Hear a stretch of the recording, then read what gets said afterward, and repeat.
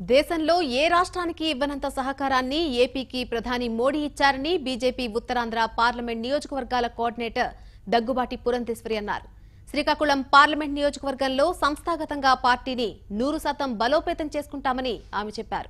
రాబోయే పార్లమెంట్ ఎన్నికల్లో బీజేపీ అభ్యర్థి గెలుపు దిశగా నిలబడటానికి తనను పార్టీ జాతీయ అధ్యక్షులు అమిత్ షా ఉత్తరాంధ్ర పార్లమెంట్ నియోజకవర్గాల క్లస్టర్ కోఆర్డినేటర్గా నియమించారని చెప్పారు.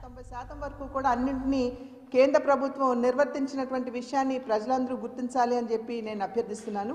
ప్రత్యేకించి వాళ్ళ పోలవరం గురించి మాట్లాడుతూ వారు అంటున్నటువంటి విషయం ఏమిటంటే ప్రజలకి చెప్తున్నటువంటి విషయం ఏమిటంటే కేంద్ర ప్రభుత్వం ఏమాత్రం కూడా మాకు మాకు సహకరించట్లేదు అనేటువంటి విషయాన్ని వారు ప్రజలకు తెలియజేస్తున్నారు.